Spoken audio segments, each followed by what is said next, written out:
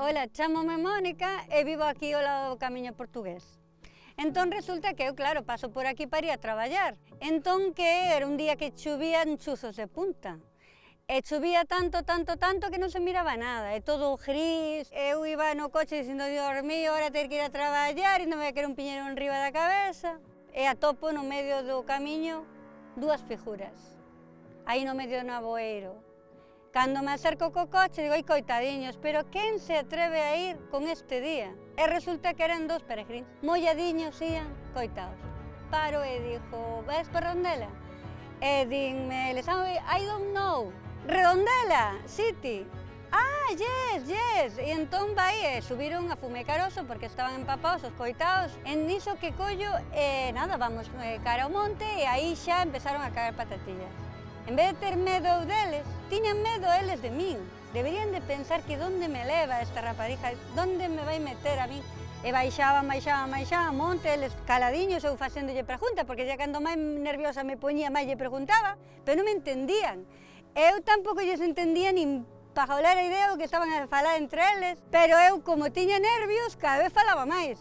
E deu-me ataques de risa, todo porque eu non sabía xa se rir, chorar, non sabía, pero eu dixe, ai, que, que me manda a min andar a levar xente polo camiño con este día, non sei que. Entón eu seguía baixando, baixando, os rapaces aí todos calaos. Non se me ocurría unha palabra de tranquilidade en inglés. Eu dixen quickly, pero eu non sabía moi claro se quickly era rápido ou tranquilo. Entón dixe que calm, que calm, please que non pasaba nada, non? Quedáronse así un pouco máis tranquilos, seguimos pa diante en máis monte. A estrada estreitábase muitísimo, muitísimo, chega o momento que fai curvas, as ponlas chocábanse. E eu parei pa poder eh, limpar o parabrisas, pero eles aí puxeronse así, sabes? Eu digo, tranquilo, home, tranquilo, saín, parei o coche, limpei o parabrisas, por dentro, por fora, para ver se miraba algo, se de mirar, pero eu aos pouquiños fun baixando ata que xa respiraron. Por qué? aí na costeira esa pon o, o moneco do peregrín, sabes, aí co pau. E entón aí miraron o peregrín que iban cara abaixo e nos íamos cara aí. E así foi. Como estaban tranquilos, empecéis a preguntar que si coñecían Berlín ou así, porque estiven ali. Pero non me entendían, eh? eles por unha maneira, eu por outra, non nos entendíamos ata que chegamos a, ao fin do traxecto e colleron as cousas, marcharon, despedímonos. Eu collo, miro para atrás para coller as cousas e miro o móvil deles. Ai, Dios mío, ahora sí. Eh, e non sabía para onde iban. E como non sabía para onde ían, eh, ocorreuseme mirar a ver os contactos eh, e mirei ali algo que me parecía que podía ser a súa nai. E chamei.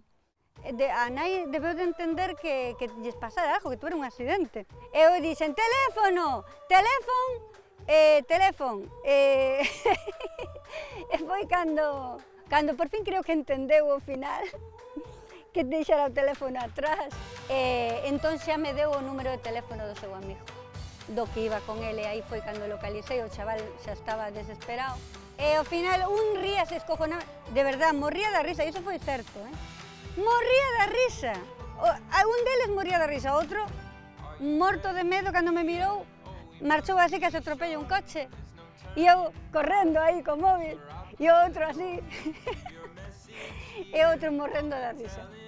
E así finalizou esta, esta peripecia que podíamos dicir.